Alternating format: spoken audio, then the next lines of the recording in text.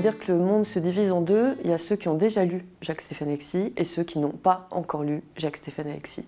Pour mémoire, euh, il y a trois de ses romans et un recueil de nouvelles qui sont publiés en imaginaire chez Gallimard. Le dernier livre publié date de 1960. En 1961, Jacques-Stéphane Alexis est mort. Il est mort en héros d'une manière euh, excessivement euh, tragique et excessivement romanesque. Un peu terrible à dire aujourd'hui, romanesque pour la mort de quelqu'un, mais Jacques-Stéphane Alexis était un immense écrivain, était un personnage très haut en couleur, était à la fois fondateur d'un parti communiste en Haïti, à la fois euh, neurochirurgien, à la fois un personnage très charismatique et euh, quelqu'un que j'aurais adoré rencontrer. Maintenant, la chance, c'est de pouvoir le publier.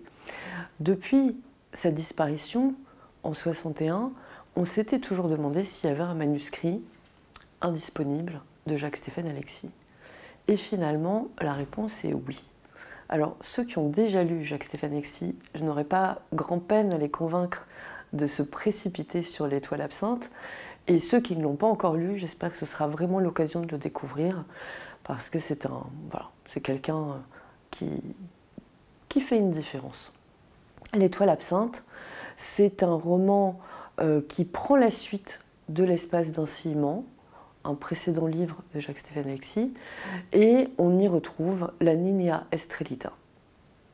Alors, pareil, on la connaissait déjà ou on la connaissait pas, c'est pas très grave.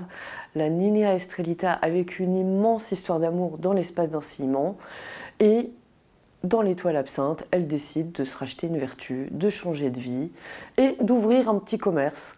Euh, alors elle affrète un bateau avec euh, une amie et elles vont se lancer dans le commerce du sel. Et donc le bateau nous emporte à la conquête du sel.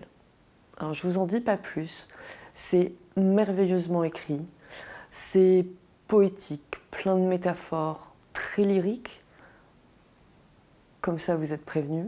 Et en même temps, c'est une absolue merveille. Le... Et puis, il faut que je vous prévienne aussi d'une petite chose, c'est que le roman, il était inédit. Maintenant, il ne l'est plus. En revanche, il est également inachevé, et pour le coup, il reste inachevé.